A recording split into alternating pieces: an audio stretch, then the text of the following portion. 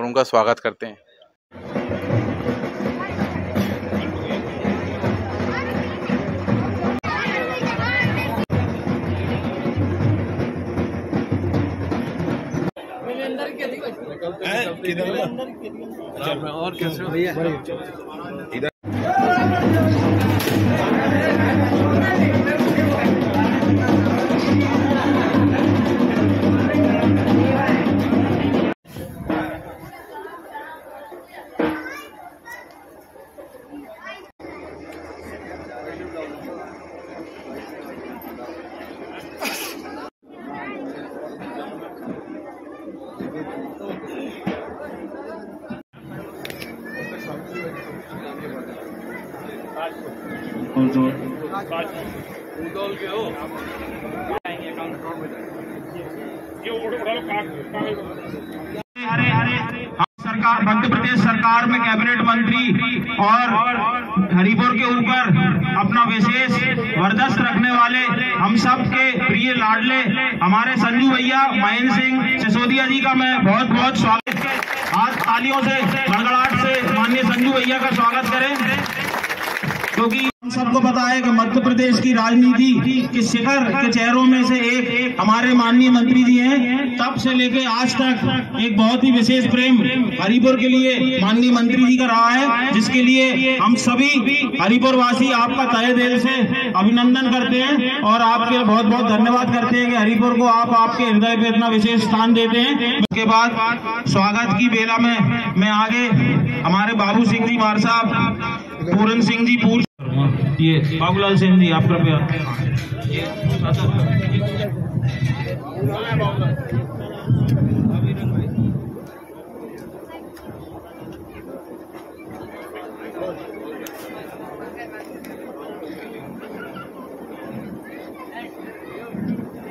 इसी कार्यक्रम को अब आगे बढ़ मंत्री जी के द्वारा ये विशेष कार्य किया जा रहा है आज, ये लोकार्पण किया जा रहा है हेल्थ एंड वेलनेस सेंटर का। जितने सब हेल्थ सेंटर हैं, उनको हेल्थ एंड वेलनेस सेंटर में स्वरूप बदल के किया जा रहा है। यहाँ पे 12 तारीख की सेवाएँ मिलेंगी। यहाँ पे एक सीएचओ पदस्थ रहेंगे, जो ट्रेंड स्टाफ नर्स या डॉक्टर है।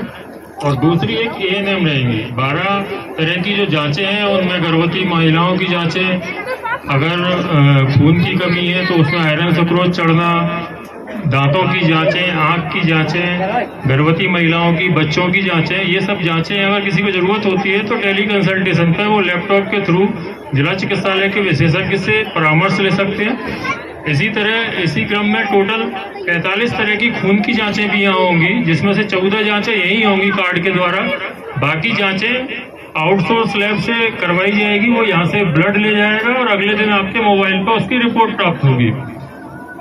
126 तरह की यहाँ दवाएँ उपलब्ध है, सभी प्रांगण में गंदगी होती है और हम लोग उस प्रांगण को अगर हरा भरा रखना भी चाहते हैं तो हम हरा भरा नहीं रख पाते क्योंकि मवेशियों के कारण काफ़ी दिक्कत होती है और गंदगी भी फैलती है। अगर आपके प्रयासों से हमको हमारे स्कूल प्रांगण के लिए अगर बाउंड्री पक्की मिल जाए तो हम बहुत बहुत आपका धन्यवाद और आभारी रहेंगे।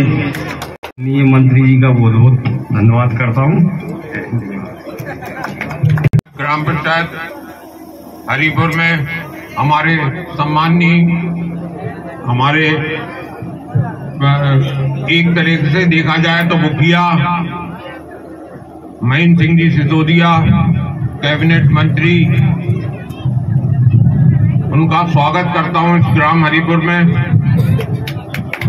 याद है कि जब लास्ट टाइम मैं हरिपुर में आया था, और यहाँ भूमि पूजन करने के लिए अस्पताल का आप सब लोग इकट्ठे हुए थे। और आज खुशी की बात यह है कि जिस अस्पताल का भूमि पूजन हमने किया, उसी का लोकार्पण भी हम ही कर रहे हैं। मगर हाँ एक बात ज़रूर ध्यान रखना सीएम साहब जो लुम्बा जी का शहर है लुम्बा जी की ग्राम पंचायत है। 126 मतलब 126 गिन लेंगे जी। अभी जो हमारे भाइयों ने मांगे रखी मैं सोच रहा था, बहुत लंबी मांगे होंगी तो कुछ भी नहीं है। आदि तो कर चुके हैं। गौशाला बन के तैयार हो रही है। सामुदायिक भवन मैंने दे ही चुका हूँ, आठ लाख रुपए का। उसका काम प्रारंभ हो गया सेक्रेटरी कहाँ है? सचिव कहा है? मुकुट। सैंक्शन है कि नहीं?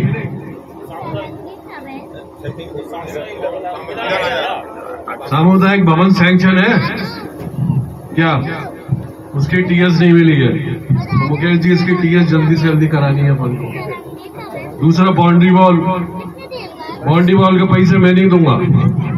मनरेगा से बाउंड्री वॉल बनेगी। और ये काम पंचायत का है। ये काम विभाग का नहीं, पंचायत करेगी। मनरेगा की कन्वर्जेंस से पूरी बाउंड्री वॉल का निर्माण हरिपुर में किया जाएगा। और इसको कल ही प्रारंभ कर दें। कर दोगे कि नहीं? पता नहीं क्या लगता है कि जब हरिपुर आता है तो ऐसा लगता है खून का रिश्ता कहीं दोनों रहा है। इसलिए हरिपुर का तो कभी भूल ही नहीं सकते। यहाँ से तो पूर्वजों के रिश्ते रहे हैं और आज जो रिश्ते हैं, वो बरकरार है तीसरी पीढ़ी में भी। खाली मिलने लगे। ये सबसे बड़ी कल्पना है और उसी में काम चल रहा है हमारा। तो आने वाले समय में मुझे लग रहा है कि अब तो फूल का ही समय आ गया। कंवल ही कंवल खेलना है तो पंजे का तो चक्कर खत्म हो गया।